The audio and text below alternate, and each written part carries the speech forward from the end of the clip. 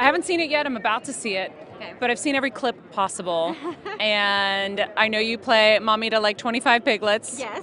Um, and I have already loved you forever and love you, of course, singing. What was it like getting to do that again?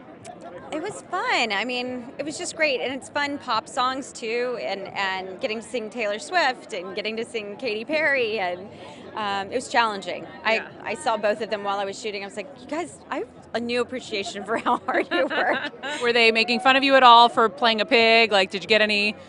Um, no, I didn't get any stuff for being a, a pig, but I definitely was singing firework too much. I Uh-huh. definitely got like, Mom, stop singing firework and shake it off all the time. We do stories about you and your daughter being like twinsies. What do you think? I mean, she and I, we, we I mean, I, we do, trust me, we see it a little bit, but it's Uh-huh. not the way people talk about it because we're so different. And um, it's just sweet, you know, we're really close. What's up, guys? I'm Giuliana Rancic, and you're watching the Live from the Red Carpet YouTube channel. Subscribe today, then be sure to check out our other Live from the Red Carpet videos right here.